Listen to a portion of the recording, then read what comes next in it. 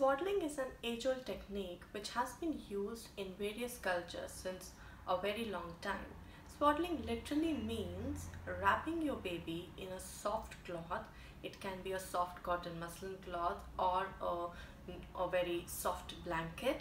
This is to provide the warmth to the baby and to prevent his startle reflexes which are the random arm movements from disturbing him in his sleep.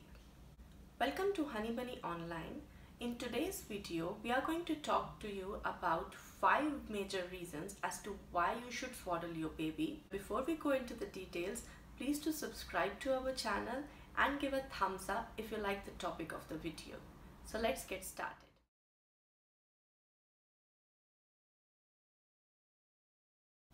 When the baby is in the womb, he is really very snug his arms are closed and he's in a closed environment.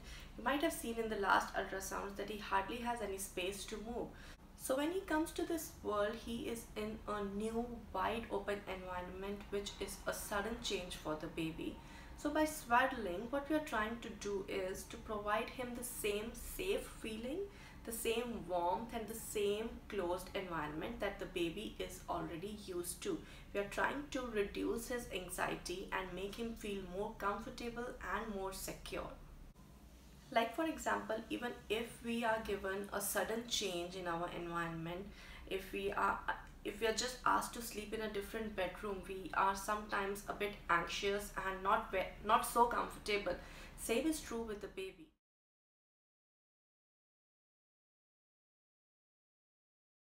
A swaddled baby is a better sleeper because he is not disturbed by his random involuntary arm movements which disturb him in his sleep. Like you might have noticed sometimes your baby just shivers or just uh, wakes up because of uh, any random arm movement and he just cries without any reason. So swaddling can prevent all those factors and help him sleep for a longer span of time rather than waking up every five minutes, crying a bit, and then going down to sleep.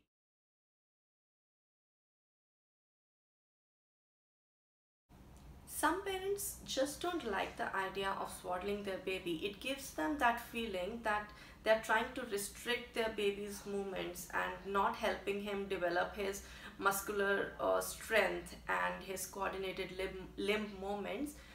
But it is the other way around because in the initial few weeks all the arm movements and uh, limb movements are random and involuntary. They are not adding up in any way to your baby's coordinated movements.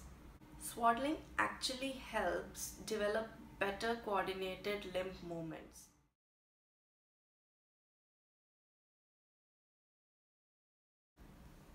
a swaddled baby would cry less.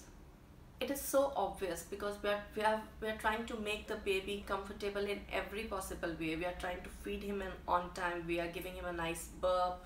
We are trying everything. We are having the white noise in the room and trying to do everything that can suit the baby. And all these factors work better on a swaddled baby. It has been proved in researches that swaddling reduces the crying by 28% which is really really considerable.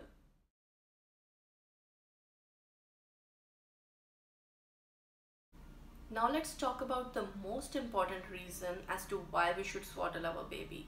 Swaddling prevents and reduces the risk of SIDS. Now what is SIDS? SIDS is sudden infant death syndrome. Two of the major reasons that are associated with SIDS are number one the baby accidentally cover his, covers his face with a bedding like something gets struck a blanket or anything gets struck in his fist and he covers his face and is unable to remove it while sleeping.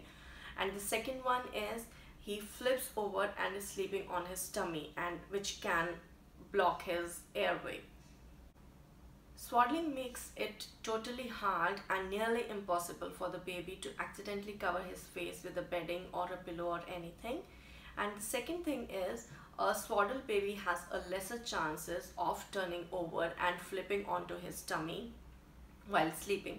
But there's a word of caution here that you should keep a close eye on very early signs to see if your baby is able to flip while he's swaddled because it can be very very very dangerous if the baby is sleeping on his tummy while being swaddled. A general rule of thumb is you can safely swaddle your baby till the time he reaches um, 4 to 6 weeks of age but again do keep a close eye on the signs as to is is your baby nearly ready to flip over if you see any of those signs just you can just immediately stop swaddling him. We have done another video talking about uh, um, how to swaddle your baby and the different kind of fabrics that you can use to swaddle your baby.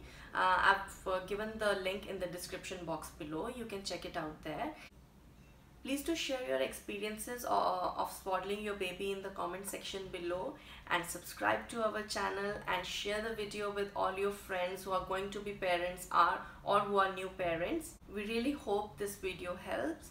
Enjoy yourself. Happy parenting.